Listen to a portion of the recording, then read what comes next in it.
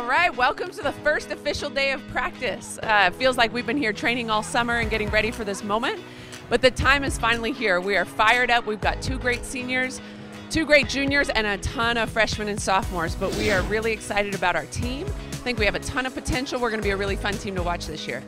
Yeah, um, I guess this is my first practice of senior year. It feels like it's crazy that it's already here, but at the same time, I'm excited because it is my senior year, so that's pretty cool.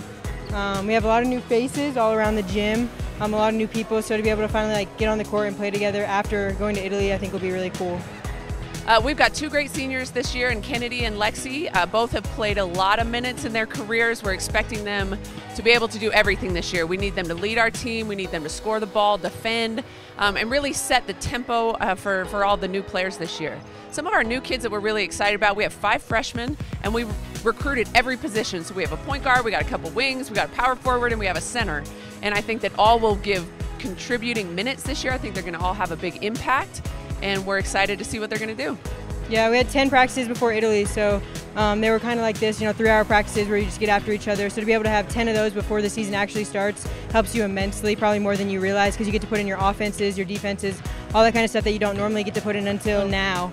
So to be able to put it in, you know, a month ago, I think helps us, you know, a lot.